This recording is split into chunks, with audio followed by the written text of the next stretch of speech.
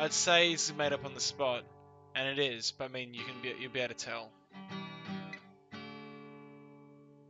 So you watched my video just now. You made it to the end. I don't fucking know how.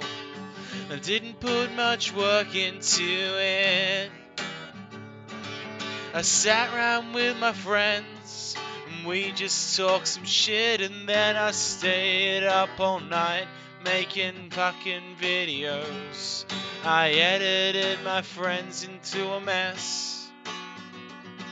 And I don't regret a fucking minute of it, except all those videos that are pretty bad on my channel. You, you know the ones, we don't, because no one watched them, and that's okay, because I mean, even the good ones nobody watches, but it's just, it's, it's a thing. It's just saying to kill the time. I feel like I'm not wasting my, my energy playing games, even though I only upload bi-monthly at the very best. So thanks for watching my video. I already forgot the chords that I was playing. And I think that I just missed that fucking note. It's 5:20 a.m. What the fuck do you want from me?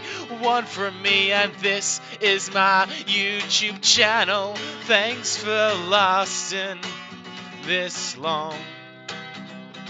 And this is my YouTube channel. And my YouTube channel video ending song. That thanks. I don't I got a bit carried away there.